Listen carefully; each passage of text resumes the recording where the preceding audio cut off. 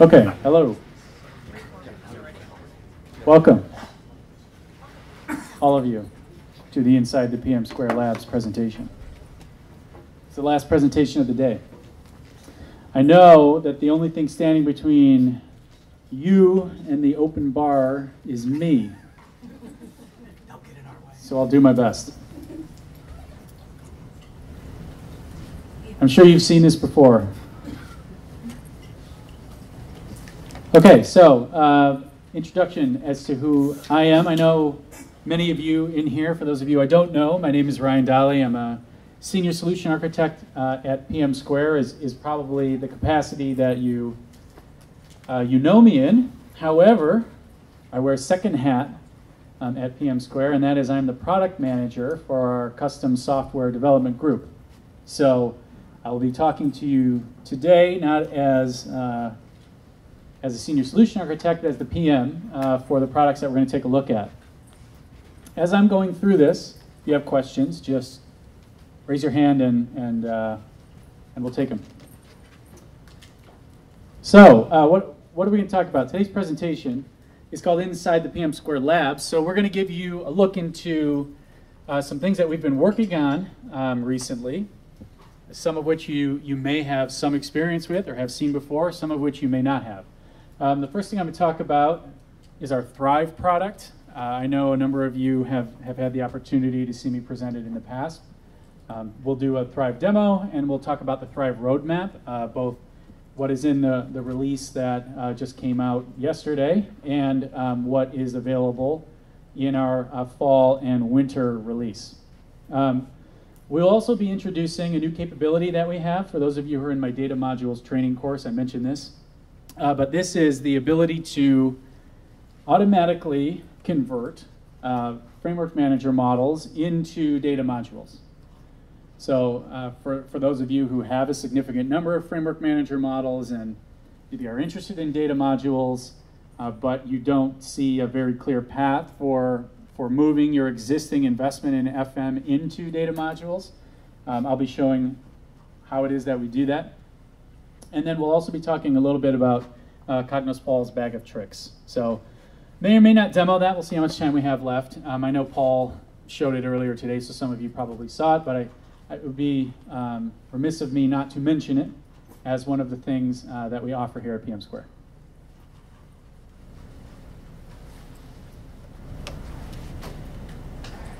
So, um, Thrive. Who all here has seen Thrive before in some capacity? Okay, so a decent chunk of the room. For those of you who haven't, um, what Thrive is, is it is uh, kind of like, um, you can think of it as like your audit reporting uh, on steroids, right? So what Thrive does is Thrive ingests information from your audit database. It ingests information from your content store. Uh, it does some ETL to make that it easier to report off of that information. And then we present it uh, in a manner that allows you to discover things about what's going on in your Cognos environment. Thrive, um, its, its product has been on the market now for, um, for about a year. We have a number of customers uh, who are using it. It's, um, it's important to understand that Thrive is not a, it's not like a, a report studio report that we built that we're going, you know, that you deploy within Cognos. It's a, it's a full standalone custom application. It's available to deploy on premise uh, as well as on the cloud. So, you know, whichever you prefer, we, we can accommodate you. It currently works with audit databases and content stores that are running on either SQL Server or Oracle. If you're interested in Thrive, but you're using an Informix content store or, I mean, who knows, you know, what, what you theoretically could be using for a content store or not a database. Um, we can, can and will accommodate those other databases as they come up in our client base. At this time, I, I'd say Oracle and SQL Server account for 100% of the Cognos content stores I've ever been involved with in my life. So I'm pretty confident that we, we've got you covered there. But if you're using something else, let me know. Um, Really, the idea behind Thrive is not just to, to present the information, but to make it easy for you to understand what's going on in your environment from the perspective of um, how stable is my environment? Am I receiving errors? Are my users receiving errors? If so, what errors are they receiving and what can I do about it, right? Um, from the perspective of your reports, what reports are being used, who's using the reports. Likewise with your models, um, whether you've got FM models or data modules or data sets, we pull all of that information in to show you who's using them, when are they using them, what reports are built off of what data modules, um, that sort of thing. Um, and then a big focus on adoption. So we're really uh, narrowing in on your users and what are they doing in Cognos to allow you to figure out who's being successful and maybe who needs a little more help, right? Where this, we see this particularly come into play with a lot of our customers is when they choose to, say, go from 10 to 11 or 11.0 to 11.1, and they want to be able to track, now that we have this new version and we've released this new functionality, who's using it and, and who's being successful with it, right? To be able to not only reach out to those users and help them, um, it, say you, you roll dashboards out to 15 people and you know you see 13 of them are using it regularly but two aren't you might want to say hey you know is there something else we can do to help enable you? Do you need additional training? Do you have questions? Right? Be proactive about it to help maintain the, the health and satisfaction of your cognos user community um, we also uh, it, to help you show an ROI, right? We went from 11.0 to 11.1. We decided to turn on the self-service features. We made them available to a subset of our users. And now we have, you know, we've got 15% more people using Cognos. The reports that are being built are being viewed by more people, right? It's important as time goes on, and certainly, you know, if we're being candid in your organization and in all organizations, there are increasing there's an increasing number of options that your end users will have for what BI tool they choose to use, whether it's Cognos or Power BI or Tableau. Having the ability to show, hey, we, we made an investment in Cognos, we chose to upgrade to the new version, we rolled out the new features, and people are actually using it, um, we find is frequently a powerful thing within our customers uh, when it comes to making the case for uh, Cognos as an enterprise BI tool. So with all that said, um, I'm going to go ahead and give a demo. Now, the, the version I'm going to be demoing, as I mentioned, is uh, uh, just recently made available. So if you've seen Thrive before, you you may notice some um, some differences, and I'll, I will. Um, actually, I have to. Okay, let's see if this works. Hey. Success, okay. Um, I'll try to do a, a, good mix of pointing out what's new and, and just giving an overview for those of you who are unfamiliar with it. When you come here, um, this is the kind of the Thrive uh, landing page. We call this the metrics page. And, and what this contains is overall information. Can, can people read this or is this entirely too small? Yeah, well, I'll zoom in a little bit. Uh, do be aware when I zoom in, maybe it will lose a slight degree of its uh, prettiness, but it'll be okay. So let's just go ahead. Uh, all right, tell me when it's good. Let's go up to 100. Or? Yes? No? Heather? Good? Okay. Yeah, so um, what, what did I say about that? It's optimized uh, for viewing on your monitor and not for viewing on a projector. so we, we, we actually, we, we recently, it's one of the tweaks in this version is we made everything grayer. We chose to do that. Um, hadn't thought through the implications for when I'm doing a demo on a projector, but uh, that's okay. It's definitely easier to look at. So um, as you're looking at, at, at Thrive here, let me go ahead and full screen this guy make it a little better. Okay, so um, this is a change from, from the version, uh, the previous version. We've kind of redone a little bit of this. So here in the metrics section, we have kind of your overall bread and butter, right? Questions, we, we think of this as questions you get asked. Like how many people use Cognos? How many reports are there? Is it going up or down? Did, how much did it go up or down by, you know, this month versus last month, for example? So we have all that information here. Um, we've split out average wait time and average batch run time. So the difference there, and this is, I think kind of gets, it's a simple example, but it gets the core of what we're trying to do with this product, is if you were to just look at your environment and say, how long does it take a report to run? You're going to be looking at both how long someone is sitting at the machine watching the wheel spin and how long a report is processing on the batch processing service, right? So we've split them out. So you can see average wait time, average wait time reflects how long someone was actually running a report sitting at their computer, whereas um, average batch runtime is, you know, how long are the, the reports that, that are running on the batch service taking to execute, right? Below that, um, we have a section now called um, reporting utilization. So these are basically all of the interfaces within Cognos um, that someone could uh, be consuming information and um, how many essentially report runs each of those interfaces had. So you notice we have on here now, and we did in the previous version of Thrive, we have um, the exploration feature for those of you who are on 11.1. Um, and then for those of you who are on 11.1.2 and above, the new Jupyter Notebook integration uh, is reflected in here. It actually took a lot of work to try to try to get out of the audit database what a Jupyter Notebook execution was. It was not at all obvious uh, when we were putting it together. Below that, in the self-service section, um, and this is when I zoomed way in, you know, we got some uh, size stuff that we need, need to do here to resize this to make it all fit. But in any case, you'll see um, that these are the, the num number of objects that were created in the environment. So um, you might be asking, well, created since when, right? That is all controlled up here with the date range. So by default, it's going to show you the last two weeks. If I want to say, hey, show me um, all of 2019, I click on this year it'll go ahead and um, reload everything on the screen, and then uh, we're going to see in a moment. I always, uh, when I demo it, it's like I'm always on some public Wi-Fi or something. It takes a little longer than usual. What um, you can see here, uh, you know, a trend line, and then the number of, of objects that were created now. We're looking at from the 1st of January through the 7th of August. Um, how many reports have been created in the environment, dashboards or explorations, data modules, how many Excel files were uploaded, how many data sets were created, um, all of that uh, in one section.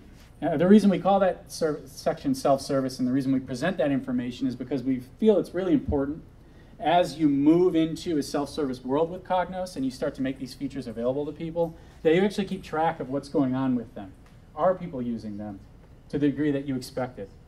If not, why, right? Who's using them the most um, and who isn't?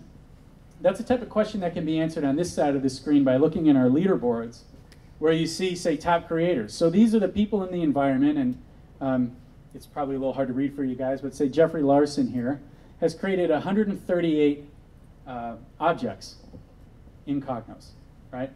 Now, why do you want to know that?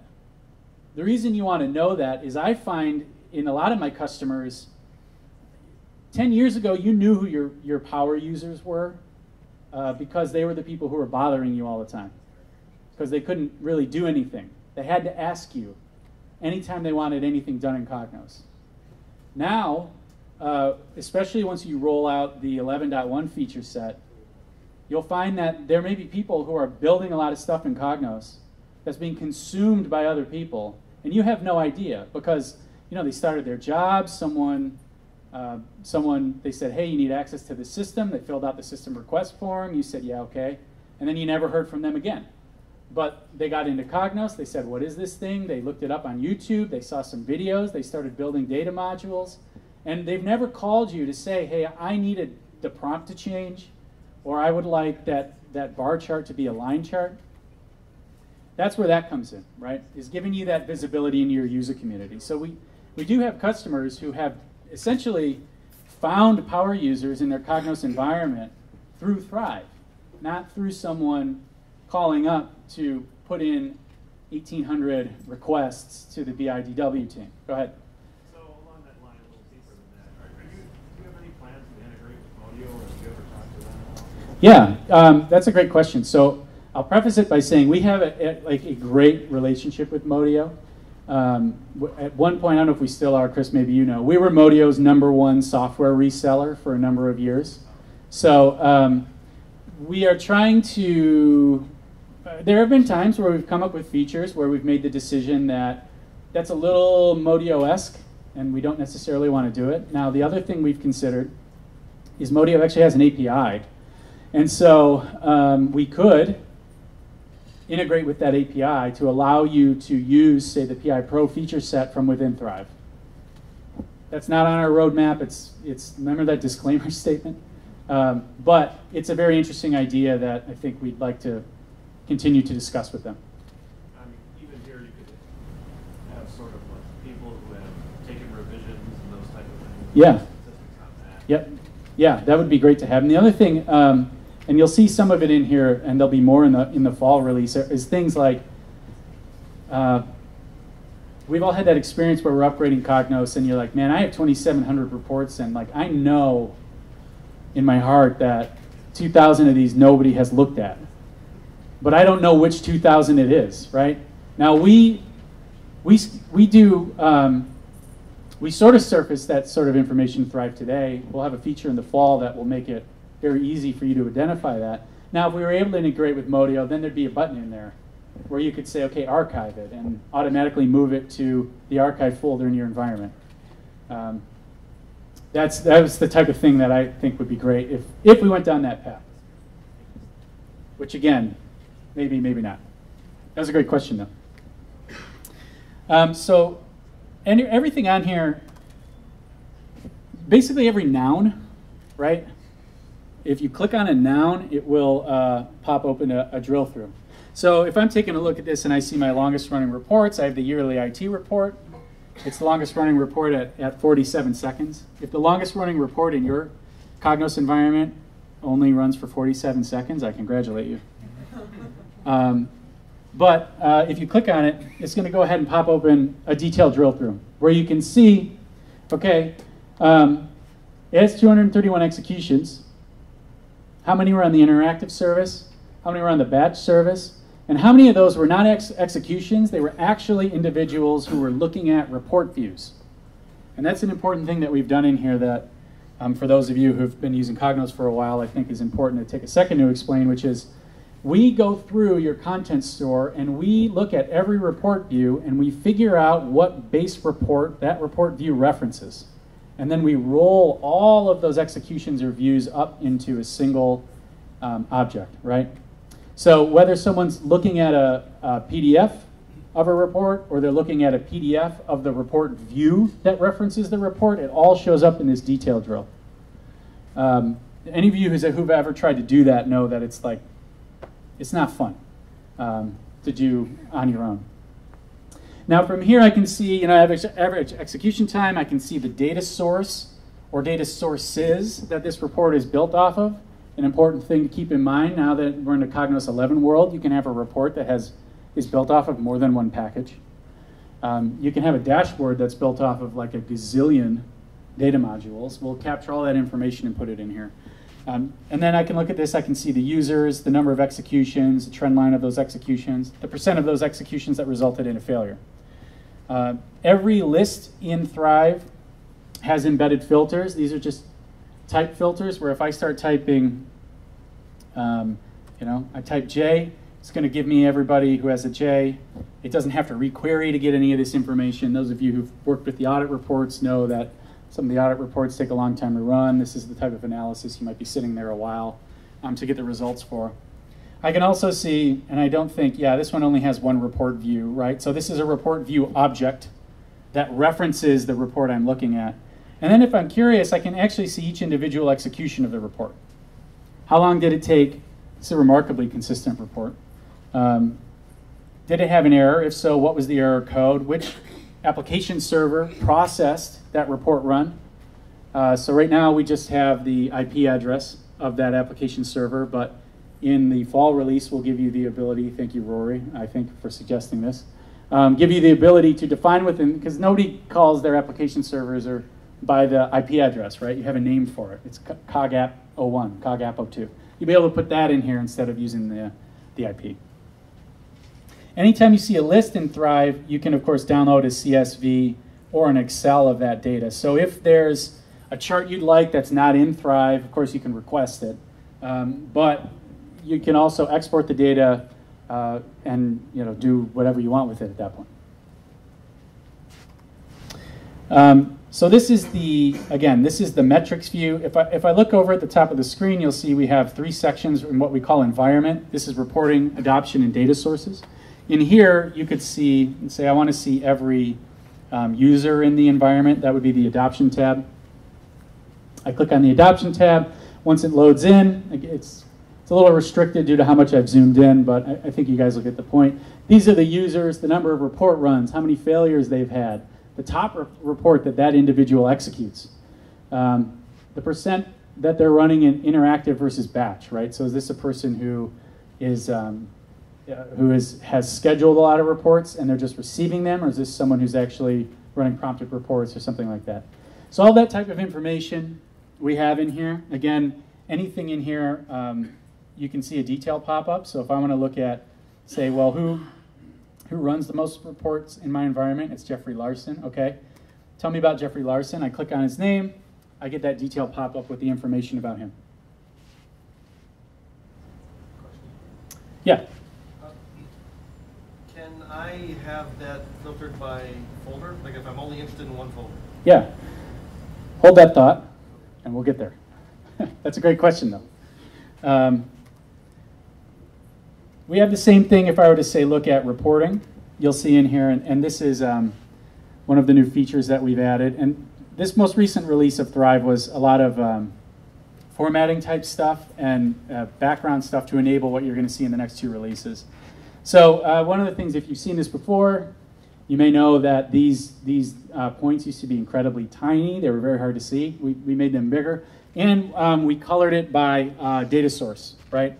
So um, everything here, these green, uh, are all coming off of the operations cube, right? Um, all of these pink ones are coming off of the financial data cube. Of course, you can turn that off if you want, and then everything will be blue. Uh, as far as the, the utilities section is concerned, there are two things that we have in here today. So the first one um, that I want to show is what we call our issue tracker. The way this works is um, Thrive is getting a load of data from your content store and your audit database. By default, I think it's every five minutes. It is configurable, right?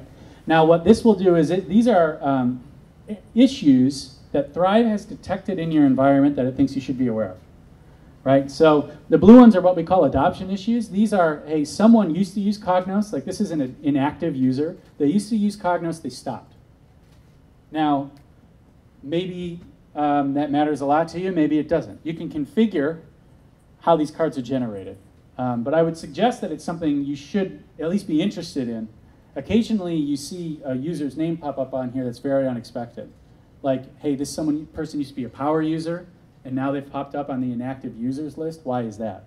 Right? This is the type of thing you might want to investigate. The green cards are poorly performing reports.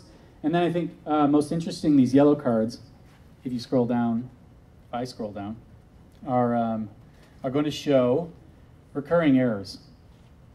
So if I were to click on one of these, it'll give me some information, which server was affected by this error um, who was affected by the error, the trend over time, show me the individual events that resulted in that error code, right? So these are all different report, they could be different reports, they could be totally different interfaces. Some of them could be report authoring, some of them could be dashboards, some of it could be people trying to preview data in a data module and running into a query execution error. It'll all be captured right here.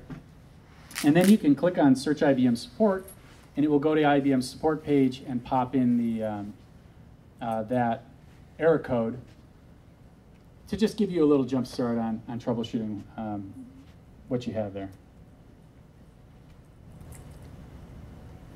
The other thing, a uh, couple things that I, I, would show in this release of Thrive before we get into the roadmap are going to be, um, currently we have a custom grouping capability. So you can see these are groups that have been made in, um, in past demos. I can take a look at, say, analytics rollout phase one. These are all the users in that group. I can update that, remove users, add users. Um, but once I have that, I can go ahead and choose analytics rollout phase one. And now it's only going to show me the errors encountered by those people. right? So I'm not looking at all the errors in the entire environment, just the ones by those people. If I go over to the reporting view, now I'm going to be looking at the 1st of January through the 7th of August 2019. For the individuals in the Analytics Rollout Group 1 group, what reports have those people run in Cognos? Go ahead. Does that tie to AD groups? Not today. So um, that's something we've been working on. It's probably going to be a, a two-step process. So the first step will be you can export from AD a CSV or Excel of your AD groups and the individuals who are in those groups and then load them up into Thrive and we will ingest it and automatically create groups for those people. And then further down the road, um, we'll be looking at directly integrating with AD. Good question.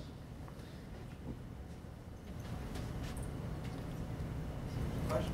Yes. Can you send alerts through this? Uh, we'll get to that in a second too. Good question. Yeah. So um, just a couple other things I'll show in here. Uh, they have a light and a dark theme. This is the, the most hotly debated item. Um, I'm a light theme guy. Everybody assures me I'm wrong. Uh, I'm sure they're wrong. So um, there's a light and a dark theme. There are, as far as the cards are considered, if you go into the admin settings, there's a couple things you can do in here. I think it's worth highlighting. The first one is um, invite users. So, you know, if you have Thrive, we will make someone in your organization an admin user. And then it's like an in email invite uh, system where you add someone in here, they get an email, they register, um, they appear. Now, sometimes you have, say you have uh, an account, like a system account or your developers that you do not want to show up in the Thrive statistics. Here you can add them to the hidden users uh, feature and it will just pull them out of Thrive, right? So, you know, you've got that, that dummy user that's running all your batch processes. If for whatever reason you just don't want that in here, you add it to this list and they'll disappear. The final thing is, is those, those cards um, have a uh, kind of configuration thresholds. So every organization is different, right? What counts as a poorly performing report? Here it's set to 30 seconds. For you, maybe it's two minutes, right? Or it's five minutes. Um, here's where you, you configure how many, uh, how many report runs do you want it to look back over? So I, I want it to look back over 100 report runs. And if in the last 100 report runs, the average execution time is above one minute, then I want you to generate this card. Otherwise, don't. Um, or you can turn it off entirely, where you say, you know what, I don't want those at all. Now it won't make them. So um, there's, there's more I could show here, but for the sake of time, um, I'm going to return to my PowerPoint slides. Are there any, real quick, just a question, does anybody have a question about uh, what you've seen so far? Okay. So what, um, what's coming? Well, this is kind of what we just looked at. There's some things that I couldn't show, um, like installation improvements and performance improvements. Obviously, those are demo but um, but those are, are facets of this release. I think uh, what you will be more interesting uh, to talk about is what's coming in November. So um, in November, the, the first thing, set date time display to local time zone. Right now it's in um, uh, Greenwich Mean Time, everything is, because that was just uh, easier, but we've gotten a lot of feedback, like I don't want it in Greenwich Mean Time, I need to set it to my local time, so um, you'll have the capability to do that. Uh, likewise, um, assigning the names to the app servers, like I mentioned. Now, the, those are cool, um, but the things that we're going to show, uh, at least a preview of, are advanced filtering, schedules and jobs, and email alerts. Okay, so all of this is currently targeted for November 2019. Advanced filtering, um, some uh, mock-up uh, that we built. Probably won't look exactly like this, but this is what we're thinking. What advanced, advanced filtering will replace the group capability, right? So what advanced filtering will do, well, it will allow you to come in here and say, I would like to make a filter for the following users who have run the following reports or, you know, using the following data in these folders that was processed on these servers. Any combination of that stuff. I, I only want to see reports that use this package and exist in this folder. Save. And then you'll be able to come back into Thrive and view statistics for that combination of items at any time.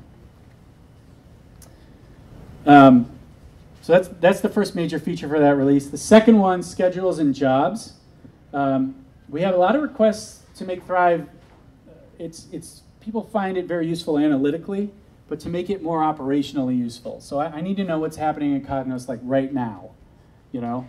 So the first iteration of that is going to be schedule as in jobs. We're going to take all of your scheduled reports and all of your jobs. We'll display them here, um, and then uh, over here you're going to get um, what's coming up. So what's what hasn't run yet, but is remains in today's schedule the most recent jobs that failed, scheduled scheduled jobs that failed. You'll be able to see all those here. Of course, you'll have the full drill through capability. So if a report fails, you can click on it and see, you know, who typically receives this report. Is there an important name on there? Do I need to contact them? Right. Um, scheduling anomalies um, and abandoned schedules. Abandoned schedules are something that's been running for a long time that nobody has looked at. So we're going to surface all that information. So at the very least, you can stop running that thing, right? There's no reason for it to consume resources in your Cognos environment when, uh, when nobody's looking at it, right? Scheduling anomalies is, um, we're going to take a look at all your schedules and how long they typically take to run. When this report is scheduled, it usually runs in seven minutes. If its execution is more than two standard deviations away from seven minutes in either direction, then we're going to plop it into the scheduling anomalies section. So this is telling you this report finished, but something wasn't quite right because it took ran way too quickly or it took way too long, right? And so that will either help you figure out like, hey, the report ran, the ETL was late, and the report ran and there was no data, or um, we've got you know too much stuff running and Cognos wasn't able to process the report efficiently. It took way longer than usual the examples of things that we hope you can uncover from there. And then the final thing is this is, it's probably impossible to see, but this is the number 1 through 24. So these are the 24 hours in the day. This is right now. And this is, this bar chart, stack bar chart will show you what status are all of the scheduled items in. Have they been completed? That would be the green ones. Did they fail? That would be the red. Are they still running? Um, that's the yellow one, right? So you'll be able to come in here and understand from a scheduling perspective, what is going on in your Cognos environment. Again, it's generally like a five minute delay. The final feature uh, that we're going to be releasing in fall is uh, notifications. So when a card is created, should someone get an email? If so, who is that person on a card by card basis and for the overall environment? So you can kind of see here, this is that user interface for the, um, the issue cards that I showed earlier. And you can see for the adoption inactive, here are the alert recipients. So anytime this card is generated, it should email me and Lucas, right? So um, as it stands today, when you go into Thrive, it doesn't tell you, hey, this report errored out, right? It, you have to go in and look at it. As of the fall release, somebody will get an email. Um, for February, we're, we're, we're in the process of finalizing what features are going to be included in there. So um, Cobwebs and Orphans is, is uh, I think it's one that I like. Um, it's, it's basically, a, a, cobweb is anything that hasn't been used in X amount of time, and an orphan is anything whose, whose user, the user who created it, or own, well, anything that doesn't have an owner. So as we all know, someone builds a report, they leave the company, they're no longer an Active Directory, that object no longer has an owner in Cognos. Is that a huge deal? Usually no. But occasionally things will happen in Cognos where suddenly the fact that these objects don't have an owner causes a huge problem. So we want to proactively notify you of that um, so that you have that information. Uh, Thrive data available in BI tools. Um, under the scene, uh, Thrive is, is actually running on MongoDB, right? So one thing we've discussed is, well, should we configure the MongoDB BI connector so that you can point Cognos or Power BI or Tableau or whatever directly to the Thrive database so that you can make whatever type of report you'd want with our data. Um, these are just ideas, right? Um, ability to alter Cognos from Thrive, that would be uh, Motio integration, real-time view. The point of this is that we are, we are finalizing this in the next, um, we'll be finalizing this in the next few weeks. And we have an ideas site that you can go to where you can enter ideas for Thrive or vote for them. Um, and, and we're basing our development off of what people say. You know, it's a combination of the dict- my dictatorial whims and, uh, and the things that people vote for, right? So if you're interested in Thrive, this is not just Thrive customers who, um, who can use this. Um, so if you go to this site, you will see our ideas portal. You will see the ideas that people have put in there. You will see that a lot of them are from me, but a lot of them are from other people. Um, Paul, you have one in there, right? And yours is uh, very highly. It, it was high. It got upvoted. It's the most upvoted request ever made, and so um, and so it's in in the uh, fall release. So please go to this site um, and vote for things. We'll be making these decisions in the next few weeks. Okay, I'm, I'm coming up on, uh, I don't have a whole lot of time here, so we're, we're going to try to blaze through some stuff. How do you get it? Well, there's a 30-day trial. If you go to pmsquare.com slash thrive, you can download a 30-day trial of the software. We'll help you install it. Um, otherwise, talk to me um, or Chris uh, if you're interested. So the second thing we want to talk about, FM to DM conversion. How do I do this? This is a, uh, everybody who sees data modules, I think, wonders. Well, I've got all these framework manager models. How can I upgrade them? The answer is no.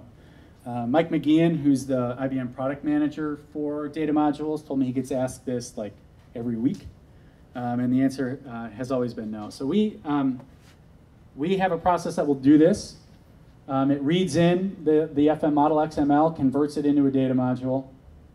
It converts most of what's available in uh, FM. Now, for things where there's no feature mapping, like you can't build a DMR in a data module today, so we're not going to convert your DMR elements to a data module. It doesn't make sense, right? We, we straight up can't. Like, there's no real analog. Um, but it does all the things you see there. The other thing it does, and this is maybe going to be a little hard to wrap your head around until you get familiar with data modules, is data modules do not have a three-tiered structure. Database layer, business layer, presentation layer. It's one layer, right? So we read through your presentation layer, your alias shortcuts, your business layer, and your database layer, and we collapse all that down into a single layer in a data module. I'll show you what that looks like in a second. So um, let's do that, again, because I don't want to uh, keep, keep you guys, or, or myself, frankly, uh, from the open bar. Okay, so uh, can we all agree that this data module uh, has nothing in it? No, we can't. One moment.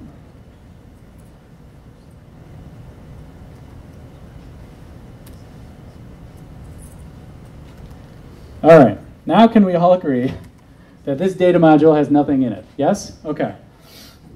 Now, um, as you're looking at this, keep in mind that, that what this is uh, currently is not, it's not a, a product you buy, it's a service that we offer, right? So it doesn't have a fancy UI or anything like that, um, but I will show you uh, how it works. So um, if I go ahead and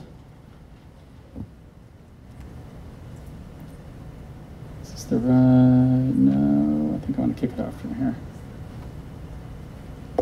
So this is, again, an, an application we've written um, that I'm going to trigger like so. Okay. You say it says converting framework manager to data module, one input found. All right, model XML was written as 7032. You don't need to know what that means right now, but if you're curious, we can talk about it later. And it says it's done. Let's take a look um, at what we have in this data module now. So, of course, in order to get this to show, frequently I have to log out um, and then log back in, so I'll go ahead and do that. Now, if this doesn't work, you guys will vouch for me that it worked yesterday, right? Okay.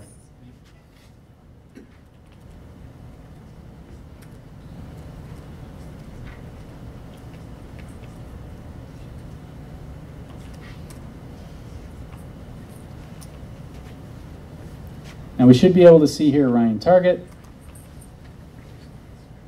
And there you go. This data module. now, what did I build that off of? Just to, to show you what all it, it, it did, let's go ahead and open uh, Framework Manager here. And you'll see that we have a, um, not huge, but fairly um, feature rich uh, framework manager model. Always with the logging in.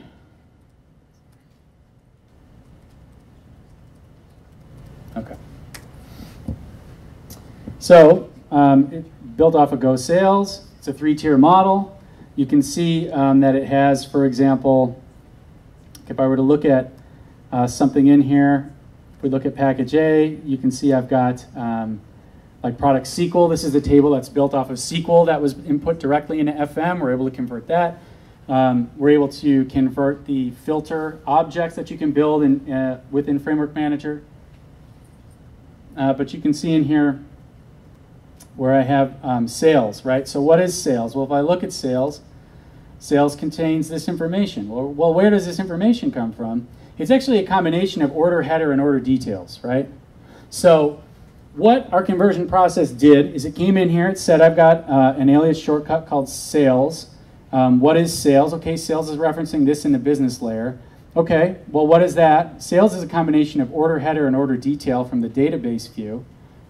Uh, what we did is we pull in both of those tables and the join that is necessary to build the model query subject known as sales, and you can see that right here. So there's the join between the order, order header and the order details table. We pull the order header, order details table in, we pull in the join, we create a data modules view object called sales, and then we take the order header and order details table and we nest them lovingly in a folder called um, data source tables so that any table that is not exposed to your end users but is used in your FM model to do something gets put into that table, in that folder. And all of the other tables that are exposed to your end users are left at the root level of the data module. And then if you so wish, you can just come in here and hide that uh, so that they can't see that. Any questions about that? Two minutes, okay, yes. Does, does that, is that gonna honor, uh, fine grain access control? So um, it depends uh, on what you're doing, right? Um, it it is able to take a look at if you're doing security, say you're doing security in, in such a way where you're saying, okay, this LDAP group can only see these values from this column. Um, it will do that. Well, we, we set a policy basically on the data source. Mhm. So when we, if you're creating an extract from the model and you're creating a data module, Yeah, I, I'm just wondering how is it gonna retain yeah. So what what connection? Yeah, what, so what it, um, what it, it does is it, it looks at whatever data source is being used in the FM model, and it automatically applies that data source to the data module. So in, in, And then when they execute the data module, the question is, will FGAC take it? Yeah, it, so it, again, it depends on, on how you have it set up. We can talk about it later. Yeah, that's a, that's a good question, though. Sometimes yes, sometimes no. Other questions?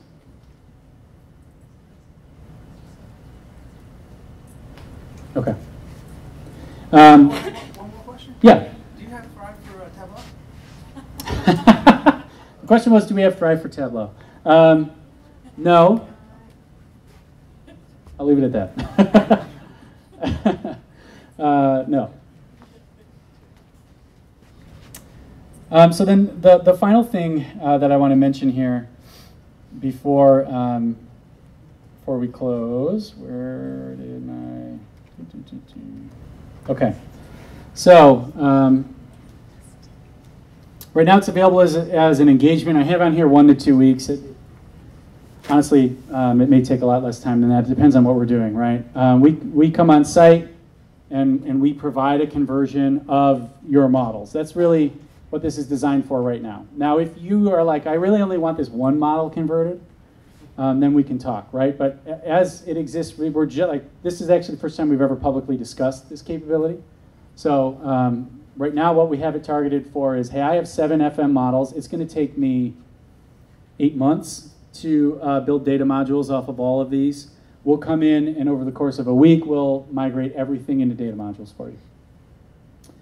Uh, we have some additional ideas of how, um, how we may use this in the future that we will, um, please come back to Bacon next year. There will be some very exciting things that we'll be announcing around these capabilities, but I can't get into it now.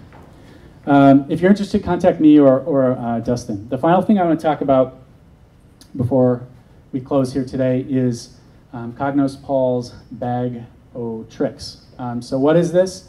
Um, I made sure Paul knew that I put on here world famous Cognos guru. Um, but uh, Paul developed a couple extensions. These are Cognos extensions that allow you to do really useful things as you're developing reports. So we've all been in a situation where like, you know, I've developed a report and now I want to test it with a number of different param values, right? That can kind of be a pain in the butt. Um, and when what Paul has done is made it easier for you to swap out param values within reports um, and to edit objects in the clipboard directly within Cognos without pulling it out of Cognos and pasting it in Notepad++ and doing your edits there, um, right, to do that sort of thing. I have some uh, screenshots of it. I'm not going to demo it because we're out of time. Um, but if you're interested in it, talk to Paul. The important thing um, is that uh, this is free. So if you go to pmsquare.com slash freebies, you can uh, provide us with your contact information and then we will give you a zip file. That zip file is uh, a Cognos extension. We also give you instructions on how to import it into Cognos, at which point um, the, this feature set will be available within report authoring. So, questions? Uh, we've had some good ones so far. Anything else before we wrap up today?